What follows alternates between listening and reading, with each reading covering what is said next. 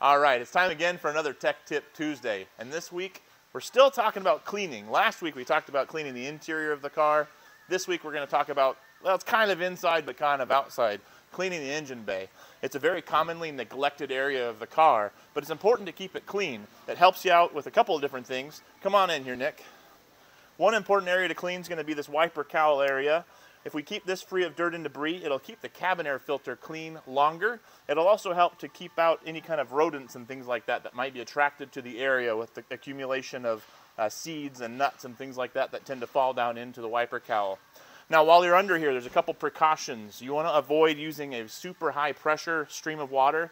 A little bit of pressure is okay, but the high pressure water can actually penetrate into electrical connectors uh, and cause problems. It can cause electrical short circuits. If it gets down into the uh, ignition coils and spark plugs, it can cause the engine to misfire. And on a car like this one, a hybrid, it can get down into these high voltage cables, these bright orange cables are high voltage cables. It can get in there and then cause real serious problems.